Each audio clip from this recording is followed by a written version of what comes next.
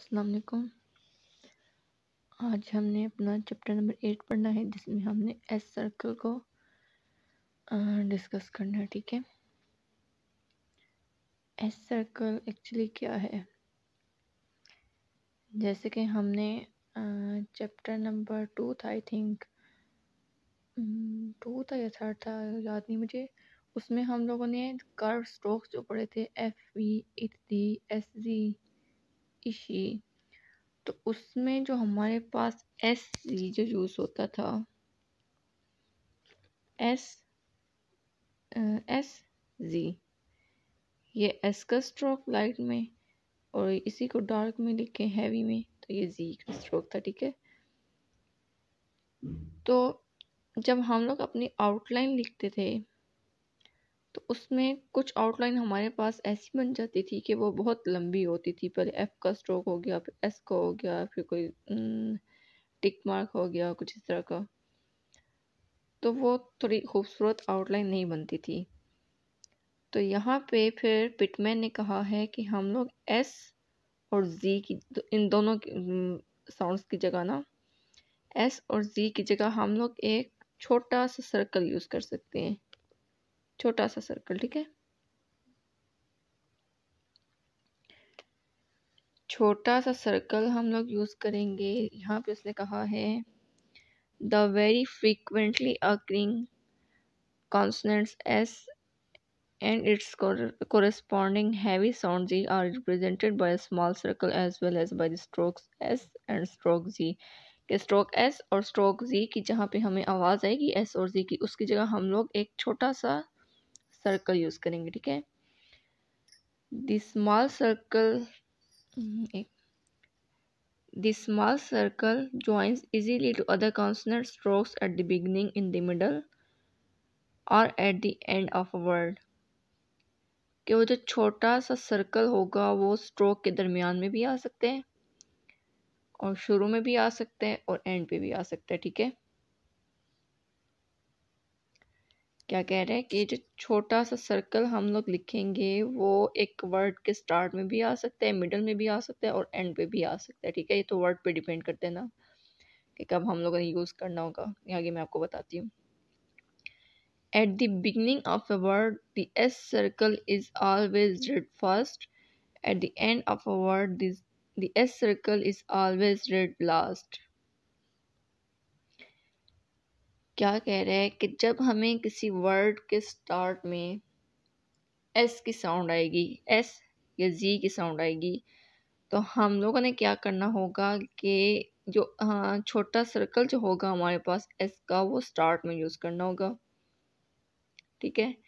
और अगर यही एस या जी की साउंड हमारे पास, अगर वर्ड के लास्ट में इसकी साउंड आती है तो इस सर्कल को हम लोगों ने लास्ट में यूज़ करना होगा।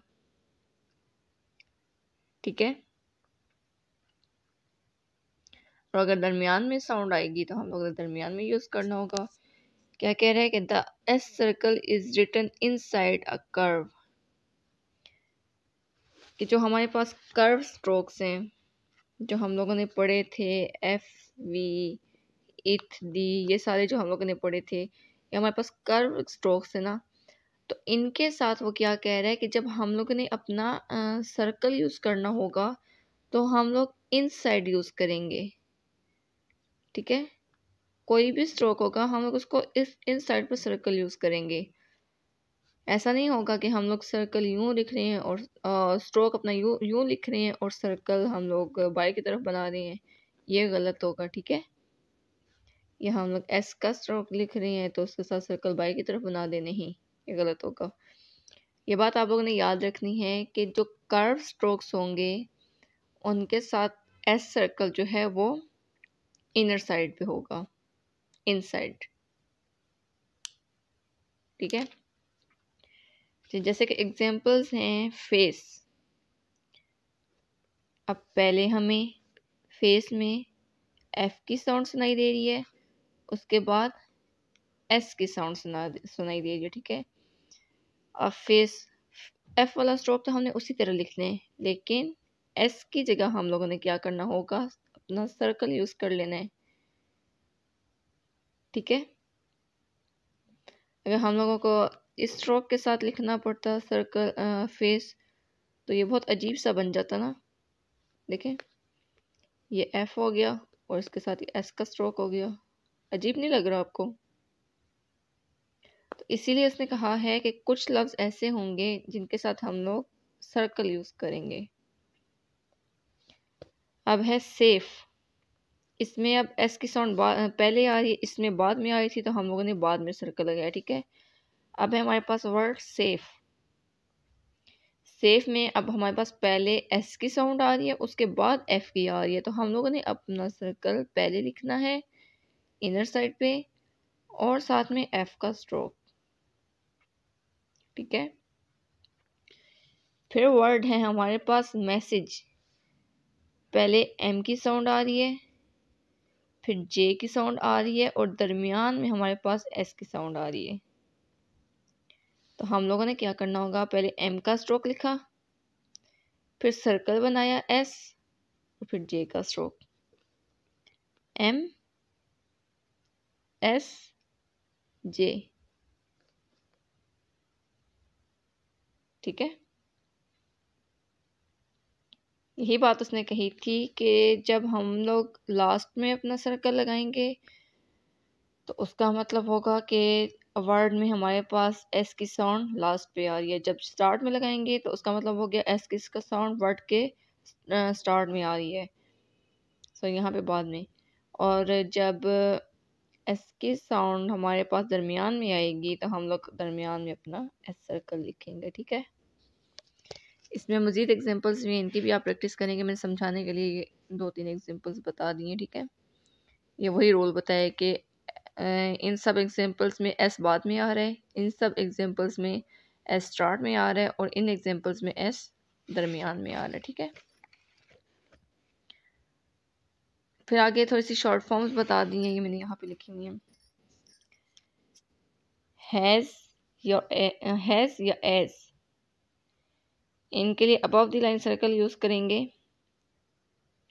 और ये लिखना कैसे होगा? एंटी क्लॉकवाइज मोशन में। ये हमारे पास एंटी क्लॉकवाइज मोशन है, ठीक है? और ये क्लॉकवाइज होती है इस तरह। तो हम लोगों ने ये जो सर्कल यूज़ करना होगा, यहाँ पे हैज़ या एस के लिए एंटी क्लॉकवाइज होगा, ठीक है? फिर हिज या इज़ इसके लिए ऑन द लाइन सर्कल होगा तो हिज हिज और इज़ होगा। सेवरल एस का स्ट्रोक वी का stroke on the line several those Z का स्ट्रोक सॉरी माइंड कहीं और चला गया. जी नहीं. दोज इत वाला स्ट्रोक जो है, वो और साथ में एस साइन ठीक है? यही चीज़ हम, जब हम लोग ऑन दी लाइन लिखेंगे तो उसका मतलब होगा दिस और जब थ्रू दी लाइन लिखेंगे तो उसका मतलब होगा थस और जब हम लोगों ने फ्रेज में लिखना होगा हैज़ दी या एज दी तो हमने ये पढ़ा है ना above the line has the above the line circle लिखेंगे तो हैज़ होगा। और जब हम लोगों ने फ्रेज में लिखना होगा हैज़ ये इज़ दी तो हम लोग इसके साथ छोटा सा टिक लगा देंगे। ठीक है? यही टिक जब हम लोग सर्कल ऑन दी लाइन और उसके साथ टिक लिखेंगे तो उसका मतलब होगा इज़ दी ठीक है? अच्छा उसके बाद ये शॉर्ट फॉर्म्स बताई हैं ये वाली जो मैंने अभी आपको बता दी हैं। उसके बाद एक्सरसाइज दी हुई है। Exercise number twenty four twenty five और यहाँ पे दो रूल और उसने बता दिए हैं। और उसके बाद चैप्टर फिनिश होता है। S circle is written with a left anticlockwise motion to straight strokes अब इसमें क्या कह रहे हैं? जो हमारे पास स्ट्रेट स्ट्रोक्स होंगे, उनके साथ जो हम लोग एस सर्कल अपना लिखेंगे, वो एंटी क्लॉकवाइज मोशन में होगा। ठीक है? एंटी क्लॉकवाइज ये मोशन जो होती है हमारे पास, ये एंटी क्लॉकवाइज होती है। एंटी क्लॉकवाइज और ये मोशन जो होती है हमारे पास, ये होती है क्लॉकवाइज ठीक है? तो इसमें ये बता रहा है कि जो स्ट्रेट स्ट्रोक्स हैं, उनको हम लोगों ने एंटी क्लॉकवाइज मोशन में लिखना होगा उनके साथ एस स्ट्रोक को। फिर कह रहा है this means that it is written on the right side of straight down strokes कि जब हम लोग स्ट्रेट स्ट्रेट स्ट्रोक्स के साथ एस सर्कल जो है वो एंटी क्लॉकवाइज में लिखेंगे तो इसका मतलब ये होगा कि हम लोग अपना जो एस सर्कल है, वो स्ट्रोक के राइट साइड पे लिखेंगे। मैं आपको बताती हूँ किस तरह। इसमें आगे इसने एग्जांपल्स बता दिए जैसे कि है वर्ड पास स्ट्रेट स्ट्रोक है ना? और उसने साथ में क्या बताया? स्ट्रेट स्ट्रोक के साथ एंटी क्लॉकवाइज मोशन में आ, हमने लिखना है प्लस सर्कल। पास को अब कैसे लिखेंगे?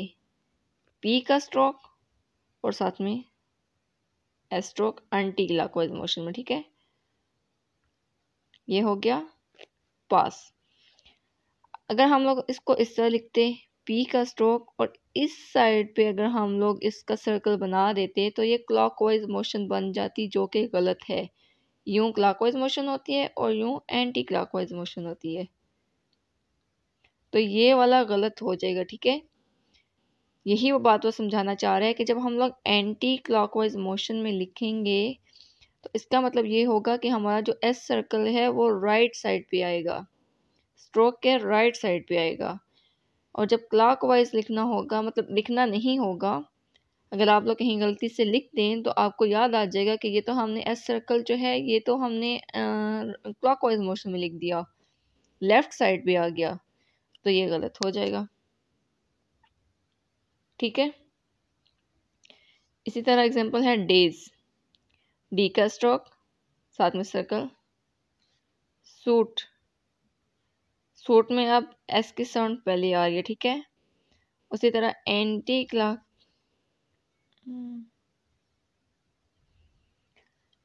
एंटी क्लॉकवाइज मोशन में एस का स्ट्रोक लिखा। टी का स्ट्रोक, साथ में डिपथोंग लगा दिया। ठीक है? बस तीन ही रूल हैं इसमें। एक उसने यहाँ पे चैप्टर में कर्व स्ट्रोक के साथ किस तरह से बता दिया है कि इन साइड पे हमारा सर्कल होगा। यहाँ पे स्ट्रेट यहाँ पे उसने बता दिए कि स्ट्रेट स्ट्रोक के साथ जो है एंटी क्लॉकवाइज मोशन में सर्कल लिखेंगे। और थर्ड रूल वो ये बता रहे हैं कि it is written on the upper side of straight horizontal strokes and straight up stroke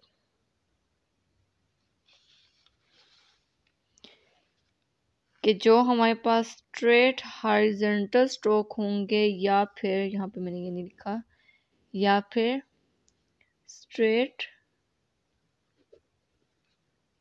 up strokes ठीक है?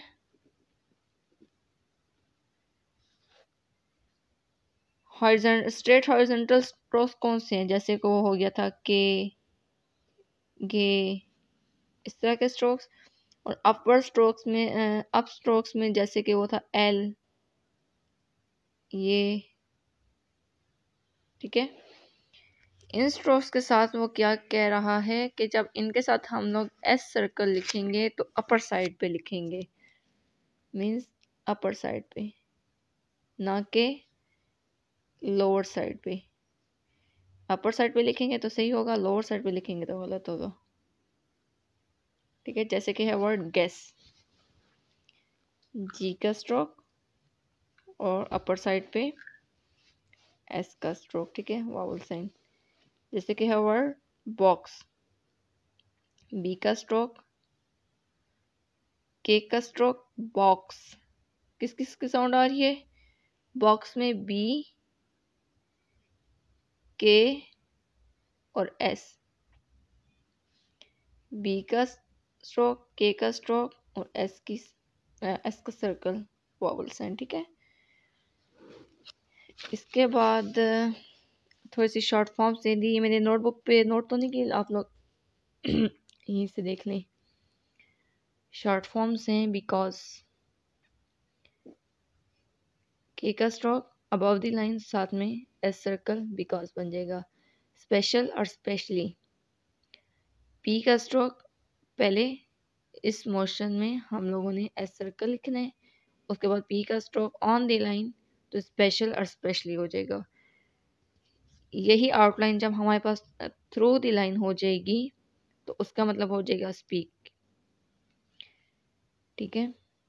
फिर है सब्जेक्ट और सब्जेक्टेड जब हमारे पास वर्ड सब्जेक्ट या सब्जेक्टेड होगा तो उसके लिए हम लोगों ने शॉर्ट फॉर्म कौन सी यूज़ करनी होगी?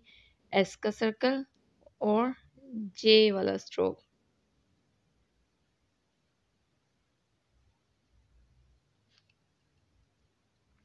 सॉरी जे वाला नहीं बी वाला. ठीक है?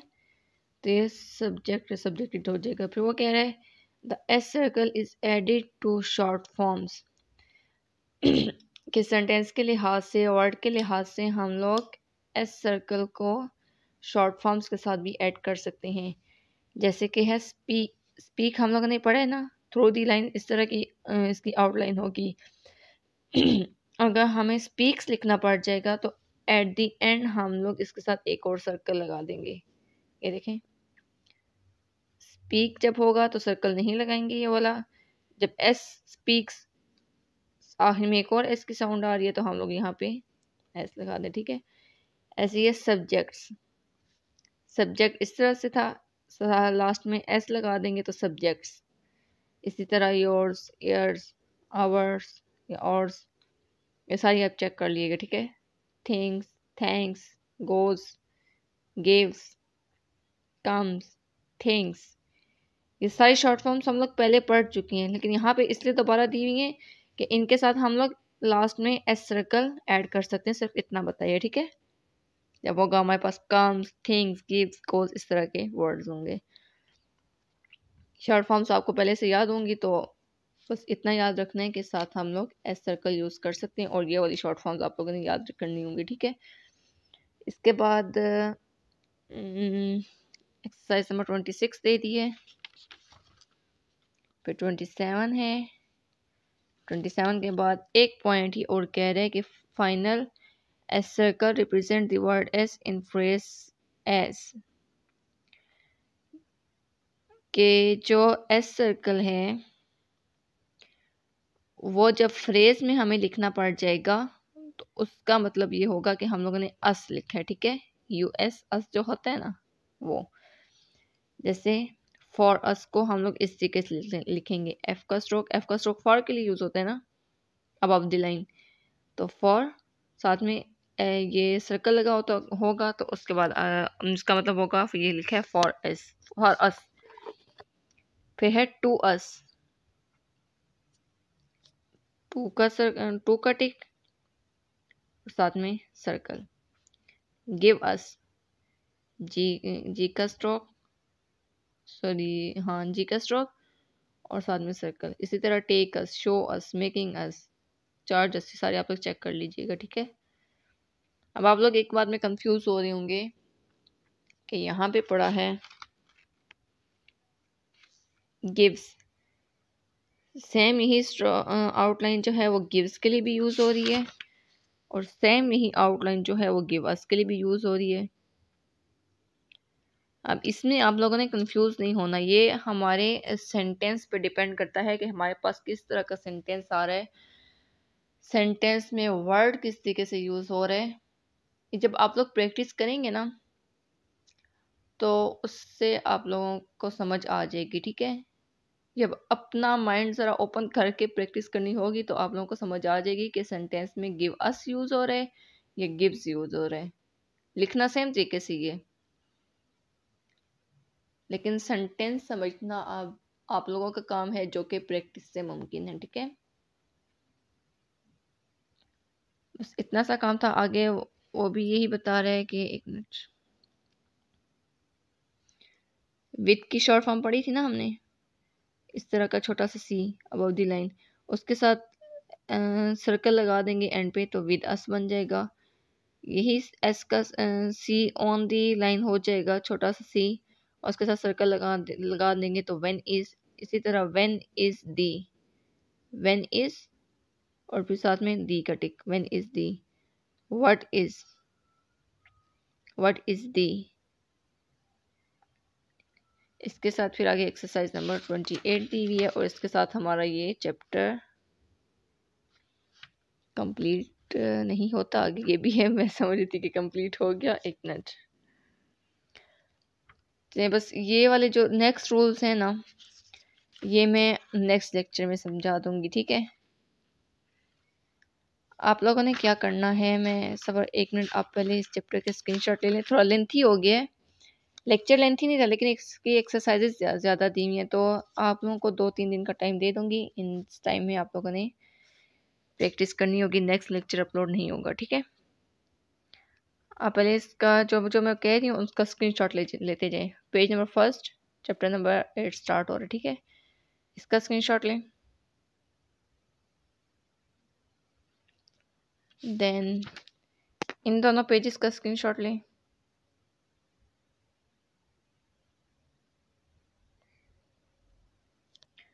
देन इन दोनों पेजेस का स्क्रीनशॉट लें।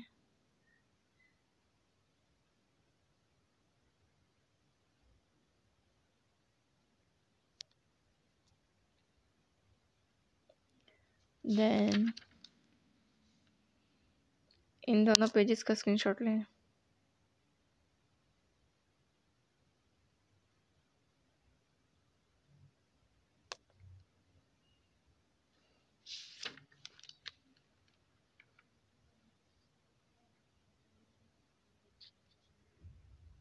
इनका स्क्रीनशॉट लें।